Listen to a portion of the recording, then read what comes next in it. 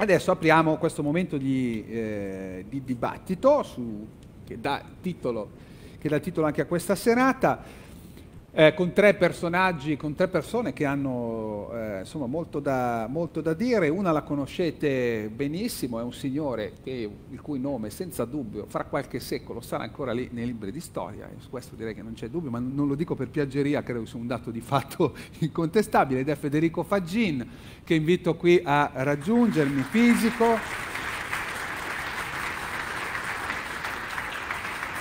Buonasera, prego, benvenuto fisico di formazione, imprenditore, imprenditore di origine italiana, attualmente però naturalizzato, no? ormai da un po' di tempo in realtà eh, statunitense, ha inventato niente meno che il microprocessore, prima ancora, però penso i MOSFET vengano, venivano prima no?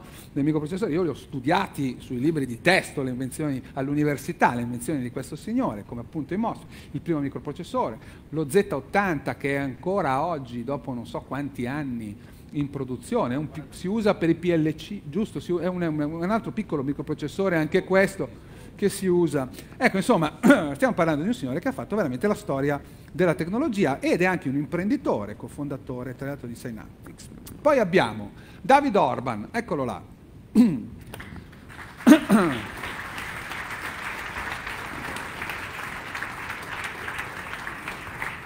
Adesso recuperiamo i microfoni. Benvenuto.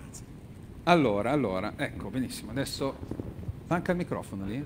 Allora, cominciamo a metterlo qua e adesso recuperiamo, il, eh, recuperiamo l'altro. Bene, David Orban è un esperto, è quello che una, adesso di recente li chiamano evangelisti, insomma, questi signori che vanno in giro a spiegare che diavolo, da, da, dal loro punto di vista naturalmente, ma che diavolo sta succedendo nel mondo rispetto a queste come dire, ondate di innovazioni tecnologiche che stanno cambiando sotto i nostri occhi anche il modo di lavorare. E poi abbiamo Michele Crudele, eccolo qua che arriva, fisico cibernetico, di formazione, ma direi tendente più alla professione del filosofo ultimamente, è Pontificia Università della Santa Croce, ha molti diciamo, diversi, diversi, incarichi eh, e ci porta un punto di vista eh, su, su, su queste vicende evidentemente appunto peculiari in qualche modo. Allora, rispetto a questo... Allora, mh, mm, dobbiamo, proviamo intanto a... è lì il, l'altro microfono mancante? Vabbè, quello è solo un tappo. Allora, abbiamo un compito difficile perché eh, te- questa tematica che potremmo chiudere sotto questo cappello, l'uomo e la macchina, in realtà è una, è una tematica che poi si scompone in tanti problemi molto diversi. Eh, qualche parola d'ordine l'ho citata prima, l'intelligenza artificiale, una parola che ho dimenticato, che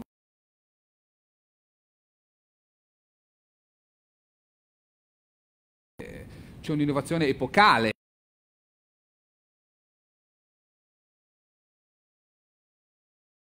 Rispetto a tutte queste parole d'ordine,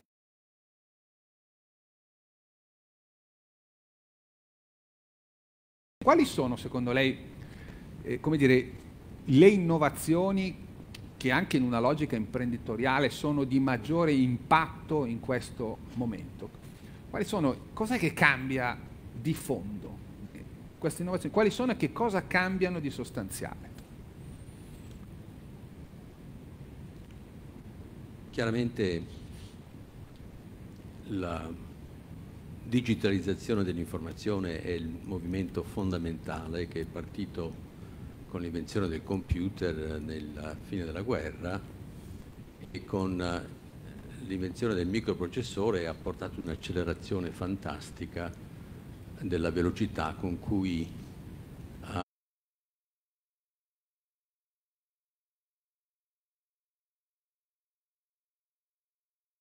la tecnologia ha penetrato essenzialmente tutte le fasi della nostra vita Uh, oggi è arrivata l'intelligenza artificiale che naturalmente sarà la base della robotica più avanzata e l'intelligenza artificiale oggi è proposta come una vera rivoluzione, eh, però io devo dire che non ho eh, la stessa, come dire, opinione su questo. Eh, esuberanza nel fare queste previsioni che molti fanno secondo me l'intelligenza artificiale certamente, ha certamente superato le difficoltà eh, che eh, esistevano da praticamente sempre nel risolvere problemi complessi, il riconoscimento di, di patterns molto complessi come so, la traduzione simultanea delle lingue oppure, oppure la, la, la, scrittura, la scrittura a mano e così via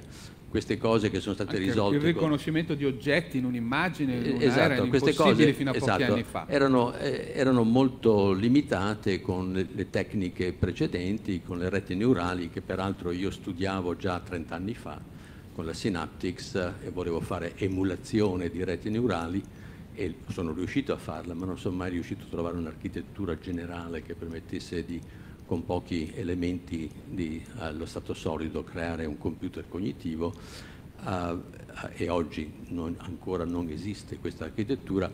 Uh, sono veramente la soluzione, la, la soluzione, a cioè. questo, sì, la soluzione a questo, a questo, problema diciamo, fondamentale e quindi c'è tutta una, una serie di uh, possibilità nuove che sono rese possibili con l'intelligenza artificiale che certamente accelereranno ancora il, il progresso.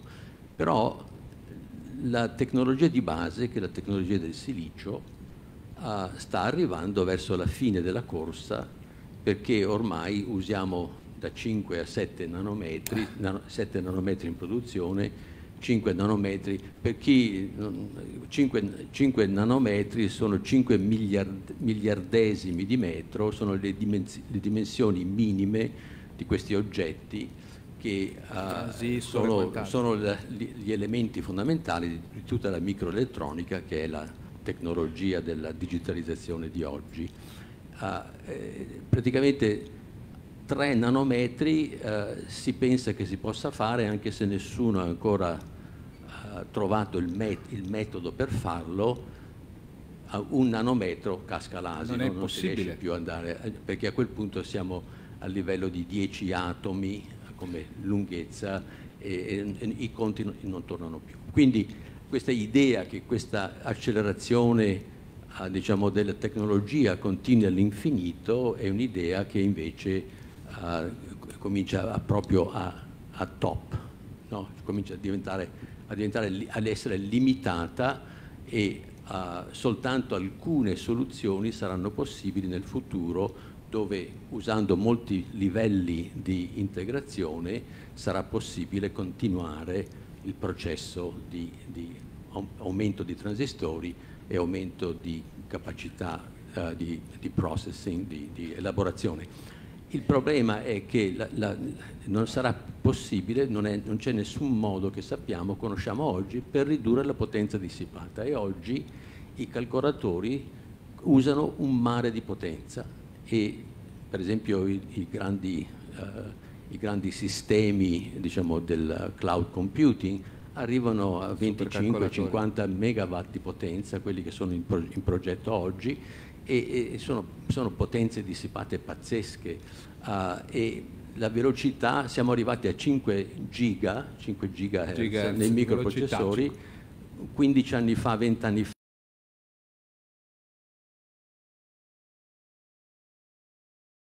Quindi questa idea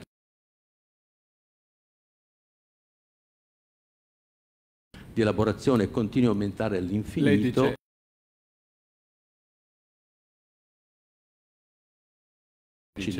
E quindi questo, questo, è una cosa molto importante da tenere, da tenere eh, in considerazione. Allo stesso tempo le applicazioni della tecnologia che abbiamo oggi continueranno ad aumentare e quindi l'impatto di questa tecnologia è certamente enorme e quindi bisogna saperla gestire, ma non è che continuerà a crescere in maniera esponenziale come si, si assume, non, questo non è, non è, certamente nelle carte.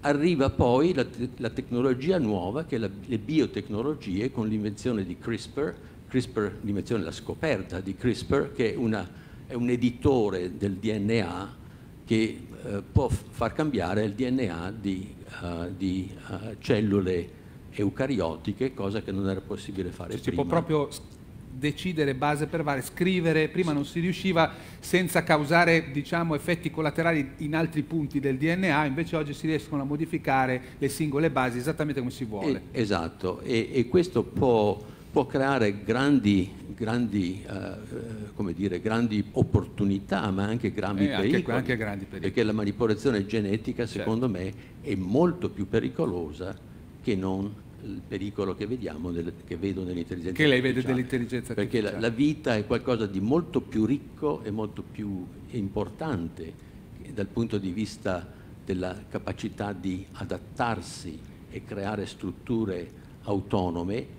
Oggi non riusciamo a fare robot autonomi, ma il, la vita è autonoma per definizione e una volta che la, la vita quindi non è controllabile, se scappa di mano abbiamo dei problemi enormi bene, certo, davanti. Quindi questo, questo, è un, un, pericolo che non, non, se ne parla molto, ma è molto, per, per, per quello che capisco io, è molto più grave del pericolo dell'intelligenza artificiale. L'abuso del... L'abuso Senta, del... ma se questo, in una battuta, pochi secondi le chiedo se, se, se, se è possibile naturalmente, ma qual è questo l'elemento più, oggi si usa la parola disruptive, no? per, che introduce l'intelligenza artificiale. Cos'è che, cos'è che cambia uh, di fondo? C'è qualcosa uh, dire, di fondamentale che cambia nel modo in cui si può organizzare anche la società umana, il lavoro, grazie all'intelligenza artificiale? Non, non, vedo niente di così disruptive okay, come ci viene presentato. Grazie, grazie. Allora, ho il sospetto che Davide Orban penserà in modo leggermente diverso su alcuni di questi temi. Eh, allora, intanto eh. Fagin ci, ci dice attenzione che appunto questa crescita, la legge di Moore è quella no? che dice che la crescita, la potenza di calcolo raddoppia ogni due anni, una cosa di questo genere più o meno eh, dice attenzione che non è detto che le cose vadano così perché le, le, tecnologie attuali sono arrivate un po' a fine corsa. Cioè se facciamo più piccoli di così, quei transistor cominciano degli effetti quantistici diciamo, che non riusciamo più a governare, per cui quel transistor si comincia a comportare in modo praticamente casuale rispetto ai nostri obiettivi, non siamo più in grado di usarlo. Eh, quali, faccio un po' anche a te Davide la stessa, la stessa domanda, intanto naturalmente di rispondere su questo tema a Fagin, ma ti chiedo tu invece cosa vedi di come cambio fondamentale nel modo di, di, lavorare, di organizzare la società con l'introduzione di queste nuove tecnologie, tra cui l'intelligenza artificiale. E ehm, sono stato contentissimo quando è stato citato da uno dei relatori precedenti l'etimologia della parola testimone come martire che non conoscevo. Ma non fidandomi, sono andato subito a vedere su Google era, se era vero. Quanti di voi l'hanno fatto? È il riflesso pavloviano eh, di approfittare della nostra abilità di andare a fondo delle informazioni che riceviamo per verificarle è una condizione necessaria nel mondo di oggi dove la realtà stessa e la nostra percezione della realtà è trasformata dall'intelligenza artificiale che oggi è in grado di fregarci, simulando immagini, testi, video, audio, qualunque cosa.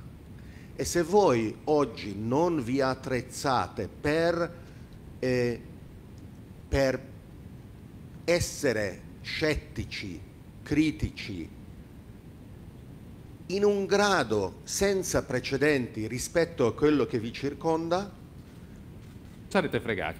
Si, sarete spazzati via oppure peggio ancora diventerete eh, gli strumenti di demagoghi populisti che approfittano della vostra ignoranza e della, nos- della vostra manipolabilità. Questo io lo ritengo abbastanza ri- dirompente.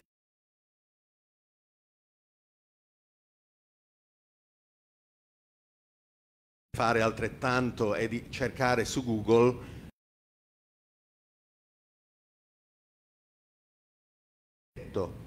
eh, nel momento in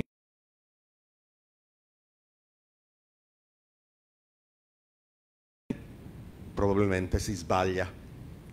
E con profonda mancanza di rispetto ma nello spirito di un dibattito sano sul palco andrò eh, a contraddire con forza Federico perché noi non usiamo i computer a tubi catodici perché hanno raggiunto la loro massima capacità di venire incontro alle nostre esigenze. E certamente non useremo il silicio o i microprocessori progettati e costruiti attraverso le tecnologie di oggi perché avranno esaurito la loro traiettoria. Ma spero che nessuno lo prenda sul serio quando dice implicitamente che sarebbe meglio che quelli che si iscrivono ai corsi di laurea di ingegneria elettronica andrebbero meglio a fare i camionisti perché tanto la corsa è finita. La corsa non è finita, è ancora Una strapolazione, diciamo. No, no, no, io sto provocando naturalmente, sto facendo delle provocazioni, ma Sì, eh, eh, l'esponenziale, l'es- l'esponenziale di cui parliamo, perché eh, alla Singularity University noi mangiamo esponenziali a colazione. E la curva ad S, giustamente la curva logistica di una particolare tecnologia che parte e la conosciamo ancora poco, poi imbrocca un'accelerazione iniziale perché cominciamo a capirlo bene e poi comincia a non riuscire a ritornare quanto ci aspettiamo, comincia a rallentare e poi Arriva asintoticamente avvicina un punto oltre cui non può andare, non è quel gomito iniziale di cui parliamo quando parliamo di eh, curve esponenziali. Quello di cui parliamo è l'inviluppo di una serie di queste tecnologie che uno dopo l'altro in modo impercettibile si eh, susseguono. Perché in un mondo aperto di competizione decine o centinaia di diversi gruppi cercano di risolvere i problemi che portano all'innovazione che attraverso poi le licenze di brevetti e di metodi di produzione si diffondono dappertutto per superare problemi che precedentemente sembravano insuperabili. Ed è per quello che giustamente, per esempio, abbiamo le notizie sui computer quantistici perché quei fenomeni che 40 anni fa si potevano ignorare nella costruzione dei microprocessori, oggi non solo non si possono più ignorare, ma se si vuole andare avanti bisogna abbracciare per produrre quella capacità di calcolo di cui abbiamo bisogno. Adesso, adesso farei, repli- farei replicare Fagin per puntualizzare, visto che ci siamo, ricordiamo che i computer quantistici, per capirsi, che sono un'architettura completamente diversa per fare calcoli, non è che sono superiori ai calcoli tradizionali in tutti i settori, sono in alcuni ambiti dove riescono a mettere a frutto i propri vantaggi. Se facciamo in tante applicazioni l'informatica quantistica non avrà nulla di più di quella tradizionale. Però Fagin, lei cosa risponde? Poi vorrei passare la parola a Crudele Sì, naturalmente. ra- Beh, rapidamente perché corretto, non, eh, certo, non voglio darle- darle- che diventi una, una botta risposta che sarebbe, non sarebbe produttiva. Eh, credo di intendermi abbastanza di tecnologia da poter dire che il computer quantistico programmabile, quindi che potrà Generale. sostituire il computer di oggi, a vista del- degli esperti, tanto quando parlavo di, di, eh, di- di, eh, limi- che, che la, la tecnologia non, non sta cre- crescendo in questa grande velocità e che le reti neurali non hanno portato una, una differenza fondamentale, intendevo a livello della tecnologia, non a livello delle applicazioni, Certo. perché se guardiamo a livello delle applicazioni invece la, la possibilità di manipolare la gente attraverso l'intelligenza artificiale è enorme ed è già stata applicata già, l'abbiamo anche vista con le elezioni della- del di, di presidente Trump, va bene, e, e questo è una anche cosa... di, di, di manipolare le persone, anche di gestire il traffico, anche di, cioè ci sono aspetti positivi e aspetti, aspetti negativi, negativi, e poi ci sono cose no? bellissime che si possono fare con l'intelligenza artificiale quindi, eh, quindi, no, da questo punto di vista diciamo, il- il- la- l'impiego Chiaro. dell'intelligenza artificiale cer- certamente accelererà tutti i campi però la tecnologia che deve continuare a come dire, alimentare questo, queste possibilità, questo Chiaro, in- in- in- incremento di possibilità, non vedo in questo momento una di- tecnologia che possa tenere il passo della legge di Moore. Michele Crudele, allora, eh, anche, eh, anche a te ci possiamo dare il tu.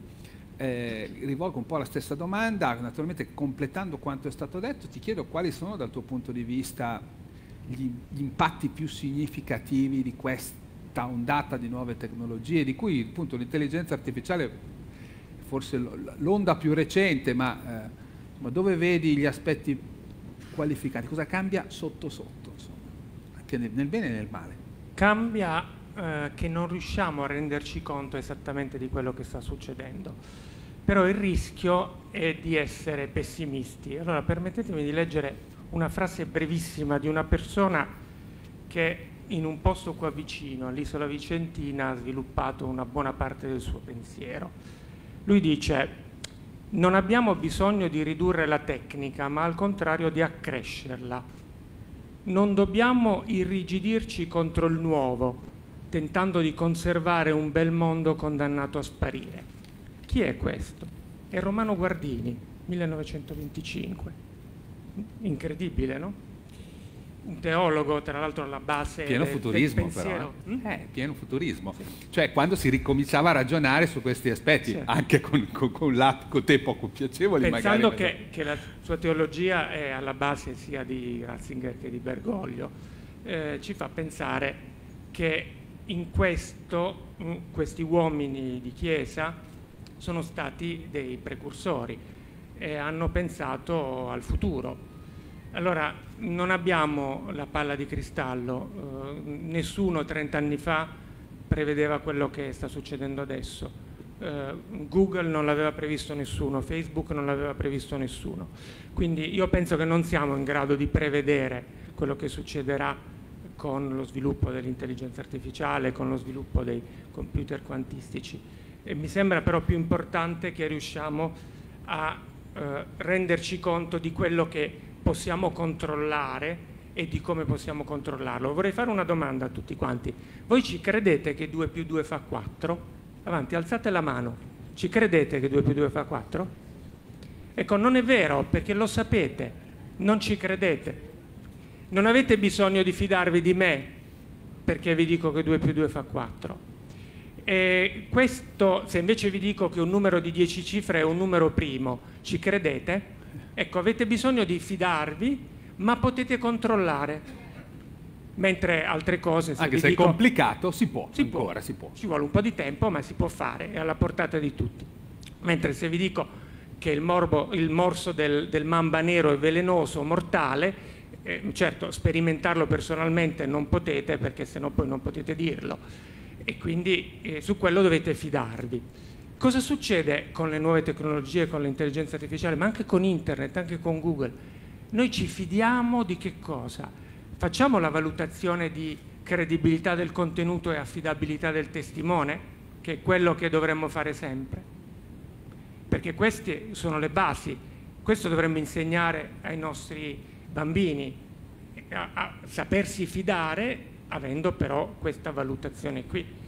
Quando non conosci come è fatto quell'oggetto, cioè come viene sviluppato, perché dà quei risultati. Ma perché è oggi che non lo conosciamo e prima lo conoscevamo? Non è che, tutto quelle, non è che tutta la tecnologia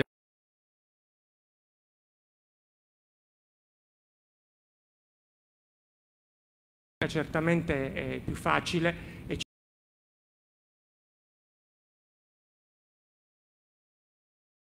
su sistemi che danno dei risultati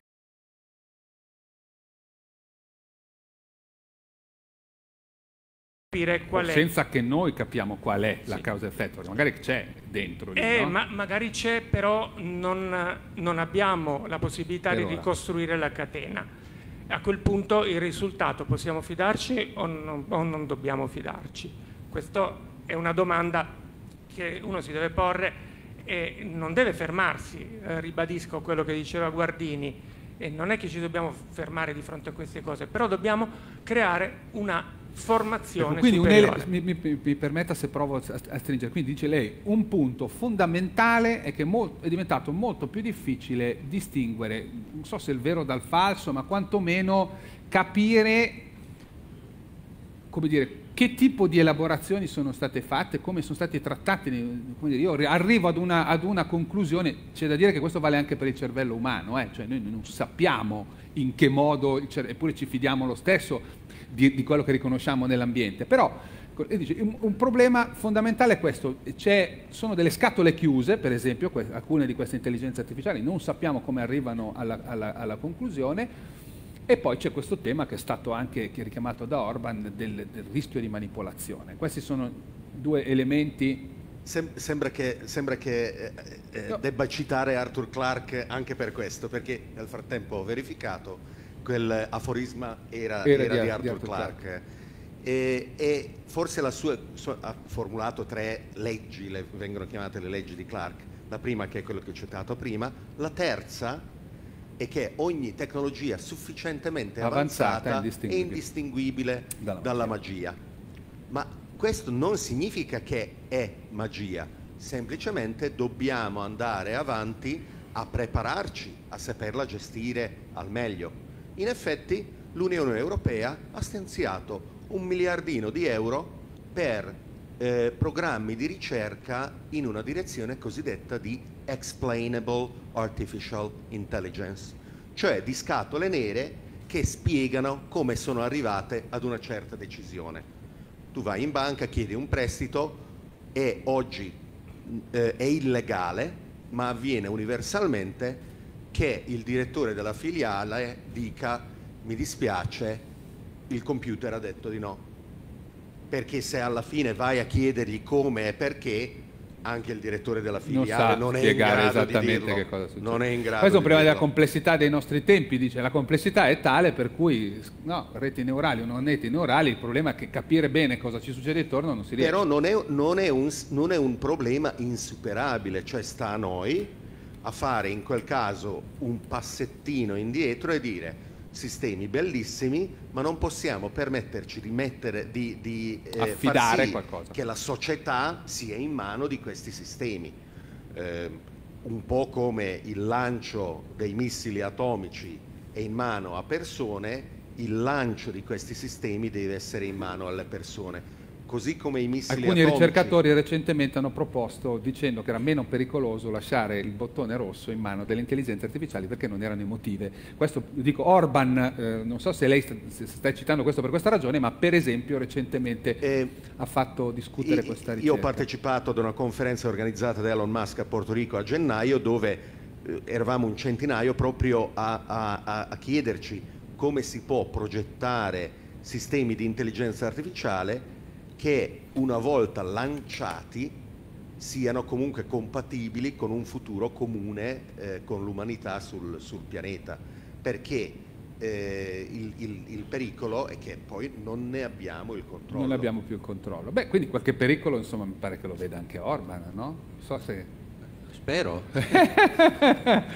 io, io, vedo, sembra... vedo un, un enorme pericolo di cercare di risolvere problemi che con la eh, convinzione che questi problemi siano risolvibili, perché per esempio i sistemi esperti erano i sistemi che richiedevano all'uomo di spiegare come arrivavano a decisione.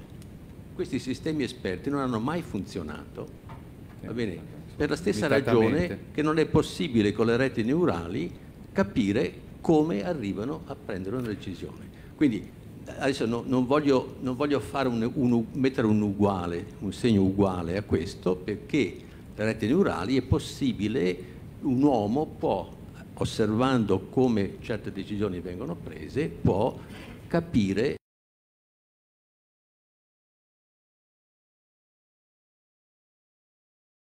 tutto volto a spiegare Però, cosa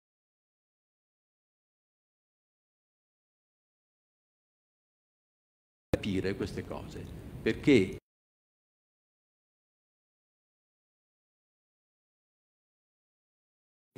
non, non può capire assolutamente. Non capisce nulla, perché. elabora e basta. Esatto.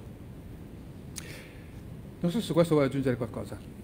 Beh, ehm ha citato Arthur Clarke, non posso esimermi da citarlo anch'io perché l'ho conosciuto, sono stato a casa sua quando vivevo nello Sri Lanka. Sono invidioso. E, e ho anche una corrispondenza fitta con lui, eh, avuta fino alla, alla sua morte.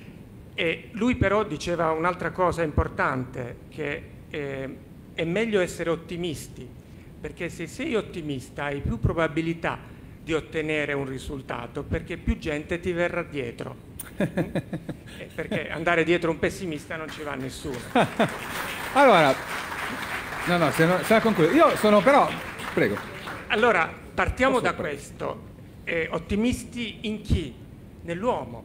Nell'uomo come uomo, cioè nella capacità dell'uomo, del suo spirito, di fare le cose per il bene. E quindi che tutto quello che sta progettando, programmando, lo fa perché serve a qualcosa. Lo scienziato cerca la verità e questa verità è una, perché altrimenti non la cercherebbe. È comune, altrimenti se la verità di uno scienziato è quella e la verità dell'altro scienziato è un'altra, che cercano a fare una legge universale. Cioè c'è sempre questo afflato nei confronti della verità che non esauriamo, però che riusciamo a raggiungere in, in, in, in tante situazioni. Quindi in questi campi certo bisogna stare attenti, per esempio nell'ambito dei robot io preferirei che i robot non fossero antropomorfi, cioè che preferirei sapere che sto parlando con un robot, che sto eh, muovendomi con un robot e non che sembra un uomo. Il deepfake lo vedo come un vero rischio. Sapete cos'è il deepfake? Eh? Una... Cioè quei video, eh, quei video in cui puoi far dire qualsiasi cosa a una persona. Adesso stanno registrando me che parlo, dopo possono prendere il video e alterare il movimento della mia bocca e farmi Dargli dire esattamente testo, il contrario. Ma non solo muovere la bocca, la persona ha tutte le movenze, ci sono dei video per esempio famosi di Obama, sono finti, perché è stato fornito un discorso, è stata addestrata l'intelligenza artificiale a imitare Obama che parlava, gli è stato fornito un discorso ed è impossibile, e tra poco sarà impossibile distinguere il vero, il vero dal falso. Io però sono, io vi, vi butto lì però un paio di, di, elementi di fondo che secondo me stanno cambiando, a questo punto ditemi voi se siete d'accordo. Allora, per esempio, eh, l'intelligenza artificiale io trovo che la sua qualità più significativa, almeno per quel che si può fare oggi, non, sto, non so tra 20 o 30 anni, ma è eh, diciamo, la, quella che Cosimo Akoto, che è un filosofo del MIT, parla della società oracolare, cioè quello che noi riusciremo a fare, mentre fino ad oggi per decidere che cosa fare domani studiavamo il passato, cercavamo come dire di imparare dal passato e decidevamo che cosa fare, domani, grazie a questi enormi flussi di dati che arrivano dall'Internet of Things, la capacità di raccogliere, elaborare, ci, noi saremo in grado di fare continuamente predizioni, cioè grazie a questa massa di dati, forse in modo oscuro perché non sappiamo in che modo queste predizioni avvengono, ma di fatto siamo in grado di fare predizioni sul traffico, sullo stato di salute di una persona, sul fatto che un impianto in un'azienda, magari quelle dei signori qui davanti, sta per rompersi e ci sono dei meccanismi per cogliere i segni premonitori di una rottura e intervenire in anticipo. Cioè questa dimensione per cui noi smettiamo di guardare a cosa è successo nel passato, ma studiamo continuamente proiezioni del futuro che ci arrivano da queste no, masse di dati elaborati. Non è questa una delle dimensioni forse più importanti di cambiamento, perché coinvolge il lavoro delle persone. Il, scusate, chi gestisce un'officina meccanica, se l'auto avverte prima della rottura che sta per rompersi, il lavoro di quelle persone è un po' diverso. Un conto è aspettare l'auto che arriva rotta e un conto è aspettare l'auto che arriva ancora integra, avendo già il pezzo di ricambio in magazzino. Ecco, allora, Rispetto a questo tema, per esempio, voi come l'avete, siete d'accordo? Vi sembra una dimensione, perché questo sarebbe interessante per loro. L'intelligenza artificiale è una macchina che impara, un programma che impara, ma è anche un programma che impara come imparare. Eh, gli ultimi risultati, per esempio, applicati ai videogiochi da parte di Google e di OpenAI, che ha potuto battere i team migliori di esseri umani in programmi non banali e meccanici come Space Invaders, ma programmi che richiedono pensiero strategico e coordinazione eh, molto avanzati,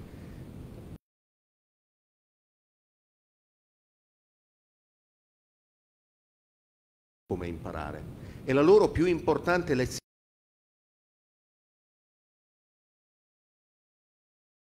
per analizzare e gestire una società complessa come quella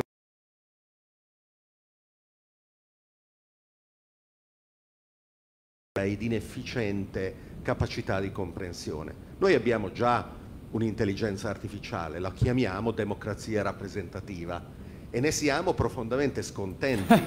quando, quando, Churchill eh, eh, ha lanciato la sua sfida, che noi abbiamo creduto fosse semplicemente una battuta e ci siamo permessi di ignorarlo per 70 anni.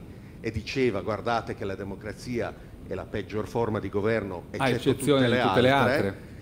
oggi forse cominciamo a intravedere come eh, distinguere tra una lentezza autoimposta che è ponderazione rispetto ad una criminale trascuratezza di modelli che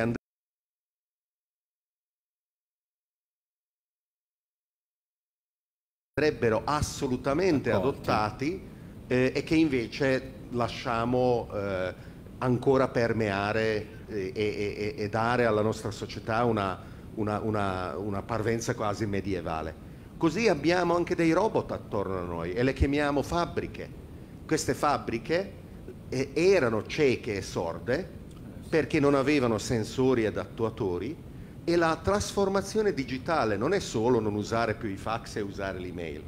La trasformazione digitale è di svegliare queste fabbriche affinché possano cominciare a conversare con noi. Il problema fondamentale, come lo vedo io, è di pensare che la macchina può fare meglio di noi cose che non siano meccaniche. In altre parole, la macchina può fare certamente meglio di noi cose meccaniche, ma la macchina non può fare meglio di noi le cose che richiedono buonsenso, che richiedono comprensione profonda, che richiedono integrazione dei sentimenti, integrazione del libero arbitrio e soprattutto il fidarsi ciecamente che una macchina possa essere autonoma. L'autonomia richiede ben più di vincere un gioco dove le regole sono esplicite. Il gioco della vita non ha regole esplicite, il computer può imparare soltanto se ci sono regole esplicite. Ma come si fa? Noi bariamo, l'uomo bara, l'uomo cambia le carte in tavola, l'uomo può attaccare. Allora come, come, come mettiamo, com, com'è una macchina, come può una macchina, eh, se, se, per una macchina per agire in un mondo, in, per agire autonomamente in un mondo di uomini che an, sono anche aggressivi, e, e barano, bisogna dare alla macchina delle, delle, capacità di fare cose che non si dovrebbero mai dare alla macchina, come di at- attaccare in cambio oppure barare anch'essa. Come facciamo? Sono il firmatario di una lettera aperta eh, da parte di molte persone che richiama ehm, le autorità americane a trattenersi dal finanziare lo sviluppo di armi letali autonome. Quindi in questo caso, in questo senso, siamo assolutamente allineati. In effetti il problema, forse, o parte del problema, è che eh, la tua definizione iniziale dei, dei tempi che ci circondano di una mera accelerazione non è più sufficiente. Eh, io definisco il nostro tempo il tempo della scossa, in inglese jolting times. In matematica il jolt, la scossa, è la prima derivata dell'accelerazione, cioè stiamo circondandoci di tecnologie la cui accelerazione è crescente. Infatti abbiamo intelligenze artificiali che barano, che bleffano, bleffano e barano meglio che gli esseri umani e infatti battono i campioni mondiali di poker. Okay? Infatti abbiamo intelligenze artificiali okay. che imparano però... senza le regole perché le regole in quei giochi che ho citato prima non gli sono state date. Certo. certo. sono stati dati degli obiettivi, ma le regole le hanno derivate. Ok, allora forse dobbiamo però fare un gioco. po' di chiarezza su che cosa intendiamo con la parola oggi intelligenza artificiale. Io faccio sempre notare una cosa, l'intelligenza artificiale sono sei o sette tecnologie diverse perlomeno, no? C'è il deep learning, c'è, poi ci sono i sistemi esperti derivazione di, di A simbolica. Arrivo. È, è la tecnologia masochista che nega il proprio obiettivo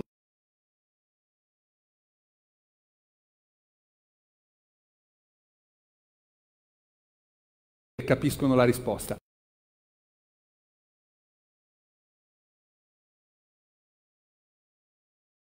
Una di queste tecnologie contiene la parola intelligent o qualcosa del genere. C'è il deep learning, c'è il reinforced learning, ci sono, come dire, i, c'è il data mining, c'è il, il, il, il predictive, eh, come si dice, eh, la, la, ricerca di anomalie, l'anomaly detection tutte queste tecnologie di intelligenza artificiale, una volta applicate, non contengono più la parola intelligente perché non, non, sono la stessa cosa che intendiamo noi di fatto poi per intelligenza, che non vuol dire che sia l'unica intelligenza che esiste. Forse noi dovremmo pensare che esistono intelligenze diverse, però questo problema c'è. Chi vuole commentarmi la cosa? Lui l'ha già fatto, mi ha appena detto che sono gli stessi produttori di queste tecnologie che si disinamorano e dicono no, ma questa non la voglio chiamare intelligenza magari perché poi mi criticano. So. Formalmente Però... la, la, la, distinzione è tra ehm, intelligenza artificiale ristretta ed intelligenza artificiale generale. Certo, del primo abbiamo forte, tantissimi certo. esempi, del secondo Nessuno. abbiamo un solo esempio. E siamo noi.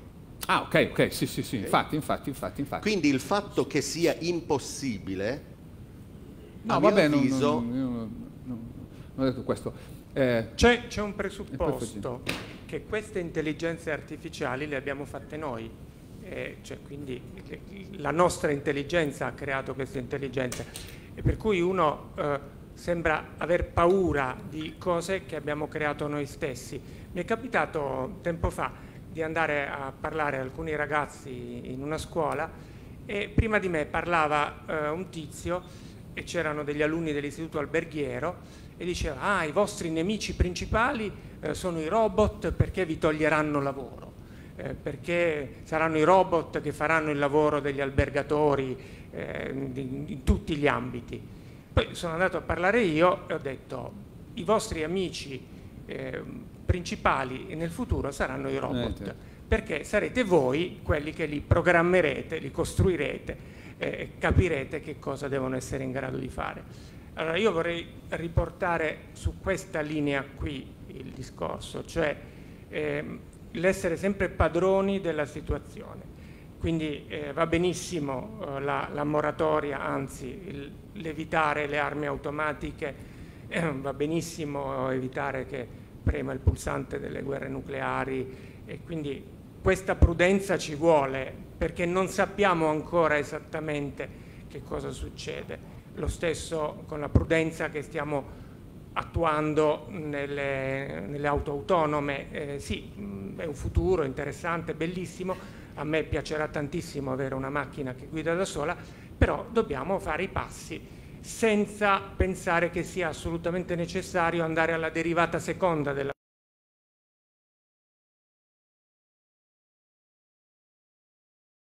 ce l'ha ordinato di andare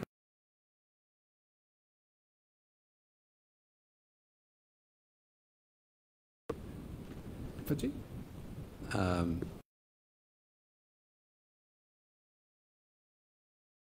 nella stanza, l'elefante si chiama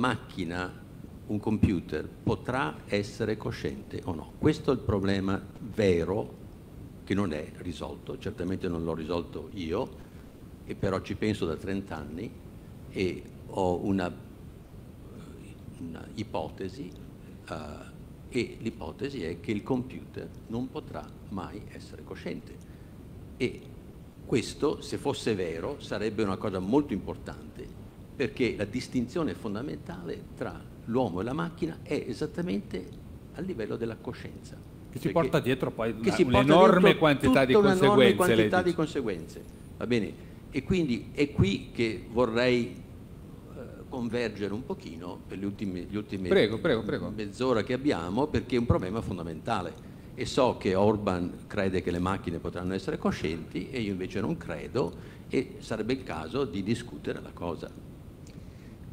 La osservazione che noi sviluppiamo perché biologicamente programmati con i neuroni specchio di riconoscerci uni negli altri, ci predispone a saltare di là dell'esperienza tangibile impossibile e credere che effettivamente anche le altre persone sono coscienti così come sentiamo noi di, di esserlo. Noi non possiamo fare l'esperimento e quindi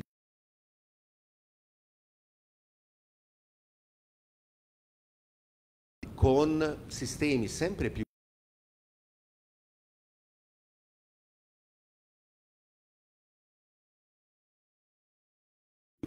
permetteranno la crescita ricca di vite future e di società che fioriranno grazie a questi sistemi, renderà la domanda ancora interessante per alcuni, che continueranno a studiarla da un punto di vista scientifico ed ingegneristico, ma la stragrande maggioranza delle persone smetterà di preoccuparsene. Magari i bambini chiederanno ai loro mentori con cui cresceranno, democratizzando quella bellissima istituzione della Grecia antica del, del tutoraggio che solo principi potevano utilizzare. E parte del dialogo sarà ma tu pensi come me e eh, quei mentori artificiali risponderanno come risponderanno io ritengo che saremo circondati da varianti in migliaia o miliardi di diverse coscienze e starà a noi decidere se vogliamo far parte di quel gioco cosmico che loro costruiranno. La sfida sarà completamente l'opposta. Se ho ben capito, eh, Orban dice in qualche modo, intanto che potremmo trovarci in una situazione in cui il dibattito, se è cosciente o non è cosciente, è un dibattito puramente filosofico, nel senso che quello che mi trovo davanti è indistinguibile.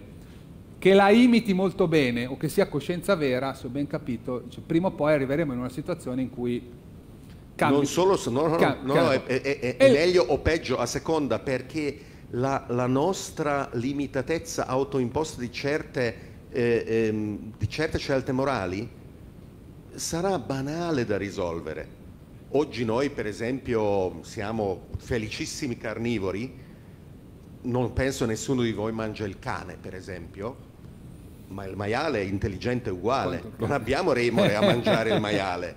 E questo tipo di contraddizione sarà risolto con facilità in futuro.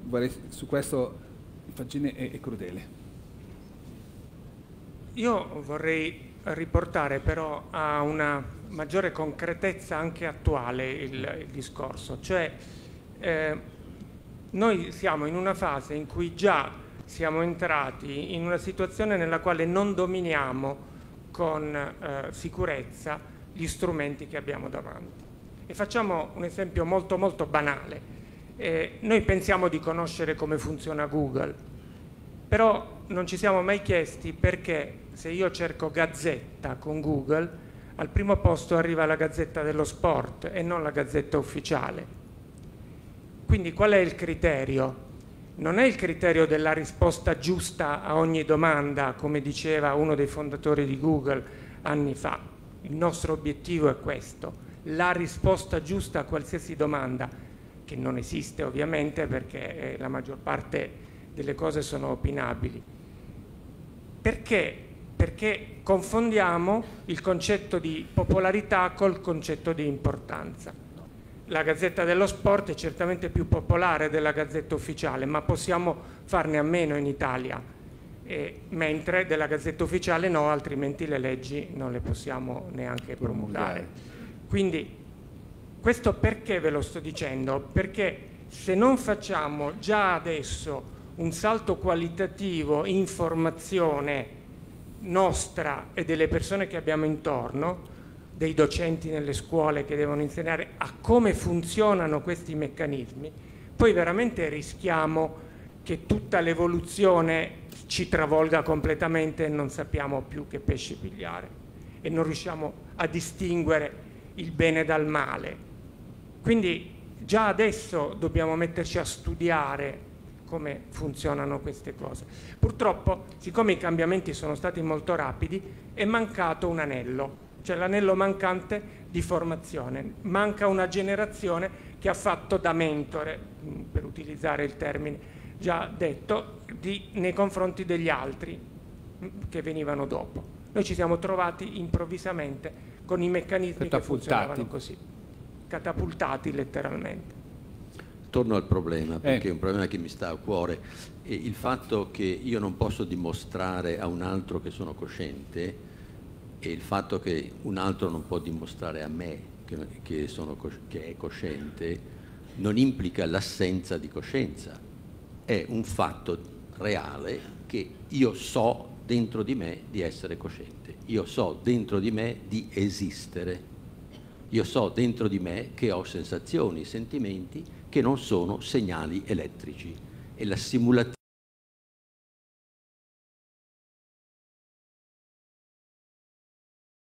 La simulazione della vita non è vita.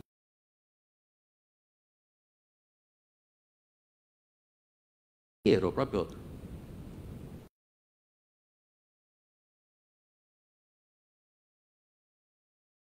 Invece non è così.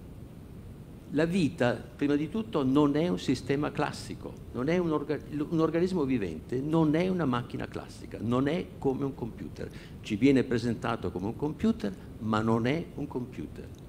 Il computer può dentro di sé creare una simulazione della vita, ma una cellula vivente crea dentro di sé una copia identica di sé, hardware e software. In realtà non si può neanche dire cos'è hardware e software in una cellula, ma crea una cellula uguale e si dividono in due. Se, fosse così, se un computer fosse così, potremmo eliminare tutte le fabbriche perché basta avere un computer che si certo, riproduce, certo, certo. va bene, e,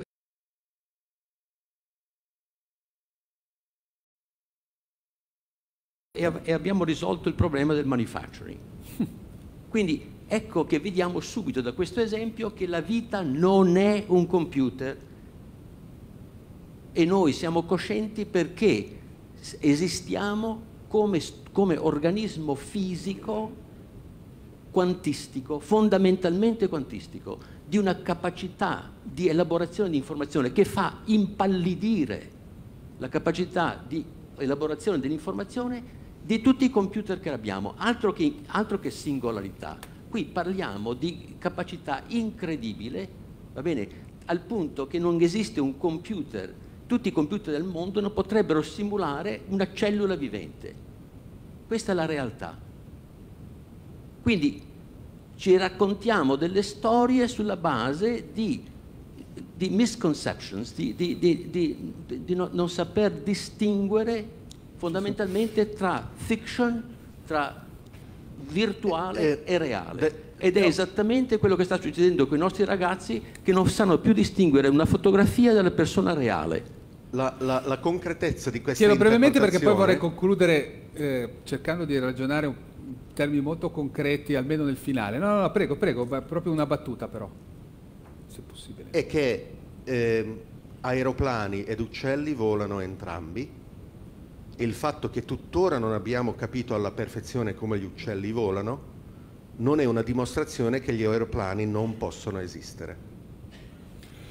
Ma l'uccello è cosciente, l'aeroplano non lo è. Vabbè, fermiamoci. Allora, io adesso vorrei, ovviamente è un tema molto, molto importante, molto affascinante, però adesso vorrei ricordarvi diciamo, appunto, siamo davanti a una platea con la quale vorrei provare, eh, diciamo, rispetto alla quale vorrei provare a fare un ragionamento un po' più, diciamo, terra, non terra-terra per la platea, ma più concreto. Allora, rispetto a prima, perché questo tema della coscienza può darsi, è senz'altro un tema molto rilevante, ma è un problema che in questo momento non si pone all'atto pratico. Siamo, no, nel senso, no, nel senso che non, siamo, non c'è niente neanche di lontanamente anche Ma avvicinabile. l'etica, no? l'etica è, è fondamentalmente Ecco, allora, lei, lei- ok, lei tocca il tema dell'etica. Il Allora, problema dell'etica è fondamentale, eh, ne abbiamo pa- accennato certo, prima certo, ed è sparito. Eh, in effetti tornerei a quello che abbiamo sentito relativamente alle macchine autonome prima, perché applicare lo stesso principio di prudenza che abbiamo applicato alle armi letali autonome o ai missili nucleari, alle più letali macchine che abbiamo oggi, che uccidono più di un milione di persone all'anno, cioè vuol dire fare i dice. danni invece di prevenire i danni. Oggi noi dobbiamo accelerare al massimo lo sviluppo e la diffusione delle macchine che si guidano da sé, perché perché in Italia 3.000, negli Stati Uniti 30.000, eh, in India 100.000 e passa persone all'anno Muoiono muoiono, sotto- di certo, incidenti chiaro, stradali. chiaro, chiaro. E quindi è nostro obbligo morale sviluppare. Ecco, allora rispetto a questo tema possibile. dell'etica, come la mettiamo, come, come lo affrontiamo questo tema? Eh, perché eh, effettivamente uno dice metto un'auto a guida autonoma, ne- comunque ogni tanto ci sarà un morto, però saranno sempre molti meno morti. Contemporaneamente chi viene, finisce sotto l'auto a guida autonoma forse qualcosa da dire ce l'ha. Io sono estremamente favorevole all'auto autonoma e credo che avverrà, avverrà perché non è una vera autonomia quella dell'auto autonoma, prima di tutto, e perché la ragione per cui l'auto autonoma funzionerà è perché chi causa gli incidenti sono persone ubriache, sotto droghe, disattente distratte, o, pochi, o- o- o guidatori non- che non sanno guidare in quel momento. Va bene? Quindi la macchina che non si stanca, che non, che non si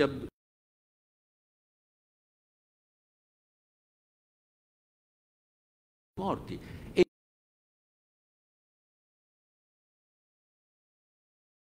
il 100% per questa direzione, ma non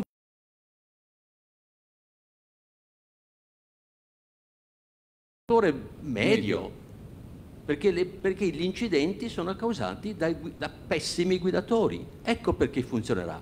Ma quando vogliamo mettere una macchina per decidere se buttare giù una bomba o Eh no, no, certo, dice per fare decisioni etiche diversa. fondamentali, lì io ho un problema grossissimo. E la, dif- e la distinzione tra questi due, questi due eh, eh, casi non è fatta quasi mai. Ecco, quindi dal punto di vista, proviamo a chiudere, se io penso al regolatore, abbiamo davanti anche un sottosegretario eh, al Ministero dell'Interno, se pensiamo al regolatore, di fronte a questa ondata di tecnologie di ogni tipo, perché noi adesso abbiamo parlato per lo più di intelligenza artificiale, ma la blockchain si porta dietro una, una serie di problematiche, di, di- di- opportunità e di rischi anche lì, quasi tutte le tecnologie in, in questo, l'IoT col fatto che comunque se tutto è, eh, dire, se tutto è digitalizzato abbiamo una possibilità di controllo e manipolazione. Allora, il regolatore come si comporta di fronte, che quale può essere un atteggiamento costruttivo, non, che, dire, che non vuole fermare tutto ma che non vuole neanche correre troppo velocemente? È, Come... è- è in una posizione terribile perché noi Come fa? presumiamo che abbia le risposte che per definizione non può Non avere nessuno, perché nessuno ha ancora capito le conseguenze di queste tecnologie. Men che meno chi non è un esperto come un Certo. regolatore non può essere esperto di ognuna. E quindi quello che è importante è che per primo noi gli diamo il permesso e la possibilità, anzi gli richiediamo di ammettere questa situazione, che non venga punito per il fatto che dica guardate che noi adesso mettiamo giù certe regole, ma è garantito che saranno sbagliate, saranno meno che ottimali. Dopodiché quando ci si risiede un anno dopo attorno al tavolo a po'. capire che in effetti non andavano bene, non possiamo dare la colpa al regolatore, ma dobbiamo assieme a capire che semplicemente abbiamo imparato di più ed aggiornare le regole. Questa cosa dovremmo averla capito già nelle scuole, per esempio, dove la situazione tra studenti e studenti è esattamente la stessa. E quindi le figure di autorità oggi devono compartecipare all'apprendimento attraverso la sperimentazione che è a disposizione di tutti. Anche in questo pubblico non abbiamo avuto molta interazione, ma io spero che un borsello bitcoin, eh, qualche ragazzo di bottega che gioca con l'intelligenza artificiale, che cose di questo tipo, tra internet e oggetti e del, delle altre cose, che sono accessibili a costo praticamente zero, se non addirittura finanziati perché anche i programmi ecco, capiscono un, che l'apprendimento è quello che C'è un problema di accesso da parte delle piccole e medie imprese a questo tipo di risorse come l'intelligenza artificiale, come, come in generale tutto, tutti questi diciamo, servizi digitali, è, è, è qualcosa che eh, dire, richiede delle grandi dimensioni per essere gestito? Eh, a Bari ho messo su una scuola, un'alta scuola residenziale per innovatori digitali, proprio per far sì che i ragazzi, fin dal primo anno di università, possano dare una mano alle aziende e soprattutto le piccole e medie aziende, cioè quelle che non hanno i centri di ricerca, che non hanno la possibilità di investire, danno delle borse di studio a questi ragazzi e i ragazzi gli risolvono problemi innovativi e trovano strade per eh, far quagliare quelle eh, idee che sono un po' vaghe, mi piacerebbe fare questo, mi piacerebbe, ma non so come, magari trovando anche i finanziamenti poi dopo per ingegnerizzare il problema. Quindi io vedo fortissimo il rapporto scuola, università e impresa in questo campo qui. Le imprese da sole non ce la possono fare, i ragazzi hanno la capacità di innovazione, dobbiamo sfruttarla fino in fondo. Non dobbiamo pensare che loro ne sanno di più di noi grandi, perché poi eh, scopriamo che neanche loro sanno come funziona Google, a meno che non gliel'hanno insegnato qualcuno. Quindi sì, stanno smanettare, però hanno inventiva e soprattutto non credono che le cose siano impossibili. Hm? Mi ricordo la storia di un matematico che non sapeva che un teorema era stato giudicato eh, indimostrabile e quindi lo dimostrò. Beh, famosa eh, affermazione di Einstein. Nel, se, no? nel senso che... Tutti eh, dicono che è impossibile finché arriva uno non lo sa. Una, eh, allora eh, i ragazzi sono questo, cioè, hanno la possibilità di pensare in grande, se noi però grandi gli diamo gli strumenti, la capacità, la prospettiva, il futuro, l'autostima nei ragazzi non è molto forte in questo momento.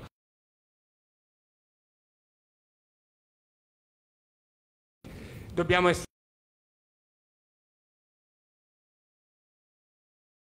insomma, è la consapevolezza e la formazione, formazione. E, e, se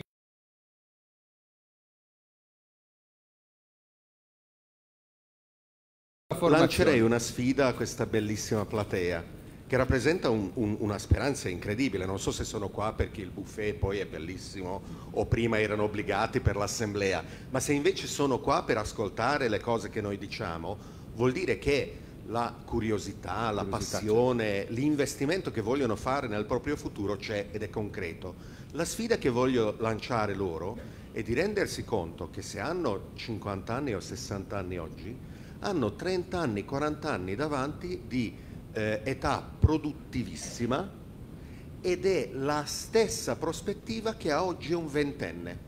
Non è questione di contrapposizione tra generazioni, ma di mentalità aperta, di desiderio di conoscenze e di sperimentazione e quindi di mettersi tranquillamente in, in gioco. gioco. Ma forse la cosa che veramente cambia con l'età è proprio la disponibilità a mettersi in gioco, questo è vero, io temo, temo sia proprio questo il problema. Comunque, allora, io vorrei concludere con lei Faggini. Intanto rinnovando anche lei questa domanda, chiedo di fare una, un, dire, un cappello, di, una, una, una, conclusione. Intanto, anche qua vorrei, vorrei, capire dal suo punto di vista il regolatore rispetto a tutti questi cammini, che cosa può fare per ridurre i rischi e eh, dire, eh, aumentare le, le opportunità. E poi se mi fa però prima un brevissimo focus dal suo punto di vista, per la piccola e media impresa quali sono rispetto a tutti questi scenari i principali rischi e le principali opportunità? E quindi cosa deve fare il regolatore, le chiedo, per ridurre i primi e ottimizzare, aumentare le seconde? Um, il mio messaggio è, è di uh, abbracciare l'intelligenza artificiale e la robotica, ma farlo con la capacità di usare macchine e creare macchine che siano compatibili e complementari all'uomo, non per sostituire l'uomo. L'idea di sostituire l'uomo con una macchina non è possibile oggi e penso che non sarà mai possibile. Quindi è una grande perdita di tempo pensare di far, di far fare che più avanti verrà una macchina che, che, farà le cose che faccio io, va bene? Perché questo non è possibile. I pezzi e, spesso sono, eh, ma mai tutto. Per, no? per esempio, in, nella Silicon Valley oggi c'è questo senso che le macchine ci supereranno eh, in tutto, cioè no, non in alcune cose, non le cose meccaniche che noi, che noi facciamo, e facciamo ovviamente pessimamente, se parliamo di moltiplicazioni io ne faccio una in tre minuti, il computer che ho in tasca ne fa, ne fa 10 miliardi al secondo. Quindi cosa vuol dire questo? Vuol dire che io sono deficiente perché la macchina fa, è, è die, die, più di 10 miliardi più brava di me? Non vuol dire nulla. Io, io, quindi usiamo l'intelligenza artificiale con, il, con intelligenza umana, non con intelligenza artificiale. Quello lì è il problema. Quando, se, se, crea, se pensiamo per un attimo che il futuro sia fatto solo di intelligenza artificiale e noi conviviamo con una macchina che però, de, detto tra parentesi, è più potente di noi, questo è, una, è un grande disservizio all'umanità. Noi non siamo macchine, noi non siamo macchine. Ma... E stiamo ridotti a essere macchine imperfette da questa visione della Silicon Valley oggi che ci, che ci come dire, ci, ci, uh, ci uh, ci fa vedere un, un futuro bene, che non è assolutamente raggiungibile. Secondo, me, secondo lei non è, non è, proprio plausibile. Una, voleva aggiungere qualcosa, poi le chiedo cosa deve fare il regolatore. Prima Una sentiamo... battuta, prima abbiamo parlato di formazione eh, tecnica, però c'è anche bisogno di formazione filosofica. Cioè questi problemi qui non sono problemi tecnici, questi problemi richiedono un pensiero che sia radicato anche nella classicità, per esempio eh, la scuola di cui sono vice direttore ha questo scopo, prendere scienziati soprattutto, cioè eh, ingegneri, matematici, fisici, e aggiungere quello che manca a loro in formazione filosofica e perfino teologica, che ha una sua componente. E vengono fuori persone in grado di pensare meglio al futuro, con quelle caratteristiche che uniscono quello che dice Fagin con quello che dice Orban, perché i due elementi si possono fondere prendendo il meglio di ognuno. Sì, Se oggi solo le aziende più grandi hanno un comitato etico, così come oggi voi avete l'obbligo per legge di avere un responsabile della, della protezione dei dati ah, o della responsab del responsabile della sicurezza, domani avrete o imposto o autoadottato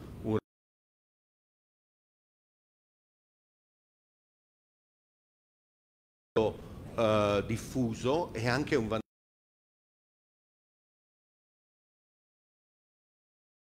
La battuta conclusiva, regolatore.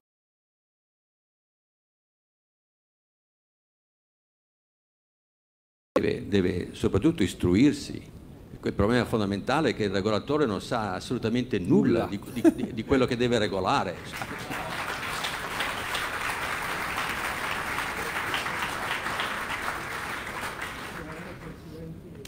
Beh, io direi che ci possiamo allora fermare qua. Io vi ringrazio, vi tengo però qua eh, perché so che